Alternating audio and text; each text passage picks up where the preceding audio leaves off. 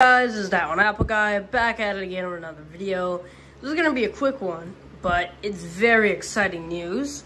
The Galaxy A54 5G today um, is... Now this might be like from like a couple days ago, but today is May 20th. It's a Monday, and a new software update is available. One UI 6.1 is coming to the Galaxy A54. And I didn't think it was going to come to the Galaxy A54 because I know it's a little late on the A series, the updates, but I got it on my S21. And I really love the features and I wanted it on my A54. And it's here. So we can create epic images. Let's look at all the changes. So you can create epic images, copy and paste one image to another. Um, you can most accurate image clipping, get exactly the area you need to clip without any unwanted parts. You get improved gallery search, so search in the gallery has been approved if you want to search for a photo or whatever. You can now change the playback speed when you edit a video in gallery. You can edit videos on multiple devices now. And new for customization, we have new wallpaper editing features. Decorate your wallpaper however you like. When you select an image to use as your wallpaper, you can now apply frames and effects.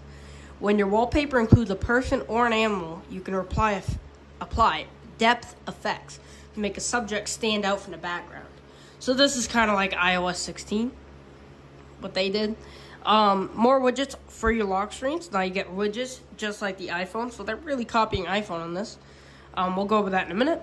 You get custom alarm alerts so you can use an image, video, or AR emoji to create your own custom alert screens for each alarm, which is really cool. We got more stickers for personalize your calendar. So you can now up to, add up to two stickers for each date on your calendar. You get revamped calendar settings. So, um, calendar settings has been reorganized to be more um, intuitive. You can now also set background colors and images for full screen calendar alerts. You also get do more with your reminder categories. Turn modes on and off the home screen. So you can turn modes on and off more quickly than ever before. The new mode widget lets you add modes directly to your home screen. You can also reorder your modes. New routine conditions. You can now start a routine when your alarm of your choice. So yeah, um, whatever that is. and then there's other more features. So let's go ahead and install this now. This update is about 2 gigs, so it's a pretty big update. Let's go ahead and install it. I'll be back when we're done.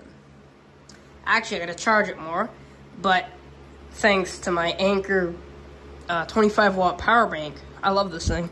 Is it? Yeah, it's 30 watts, so it's really nice, and then it has this nice screen. So I'll be back when it's done charging to 20%. Well, I'll be back when it's updated. The phone's charged enough. Let's hit install now. There we go. All right, so I cleaned up the space a little. Jesus. Well, I was waiting, so now it looks good. Now, in the next video, I will fix this, how it's keep turning, but... Alright, so we are updated here. Let's swipe up. Let me draw on my pattern real quick. We should get a little pop-up right there. Welcome to One UI 6.1. All right, let's hit done.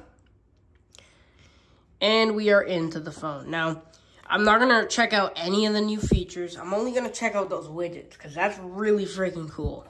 So, let me get this propped up. All right, so I got the phone propped up. Bet you haven't seen this before. Um, and I've got the uh, screen clean. Bet you also haven't seen that before because I never keep these phones clean. All right, so let's hold down. Let's go into the editor. Let's put in our fingerprint.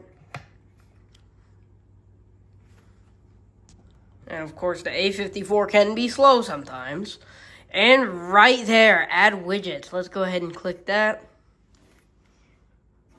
All right, so now we can add our widgets. So here we go. Here's batteries. So you can do battery status, whatever. So let me put in a battery widget. Not that battery widget. Or actually, let's do that. And then I also want to put in a weather widget. So now I can do this. And we'll hit done. And we should have our widgets all set up. There we go. That looks nice.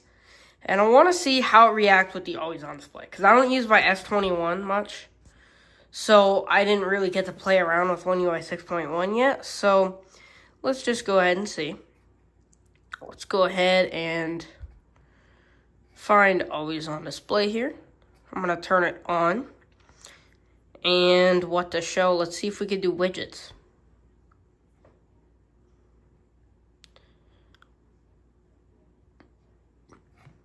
Um, weird. Okay, so let's just do it. All right, and the widgets are working. That is so cool. I really love that.